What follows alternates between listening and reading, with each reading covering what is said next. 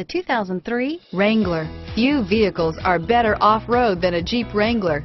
This is the one that started it all. Traceable to the original Jeep, the Wrangler is the very symbol of off-road capability and is priced below $10,000. This vehicle has less than 105,000 miles. Here are some of this vehicle's great options. Driver airbag, power steering, four-wheel drive, passenger airbag on-off switch, bucket seats, passenger airbag, intermittent wipers, variable speed, intermittent wipers, front disc rear drum brakes, power outlet, steel wheels, convertible soft top, tires, front all-terrain, vinyl seats, tires, rear all-terrain.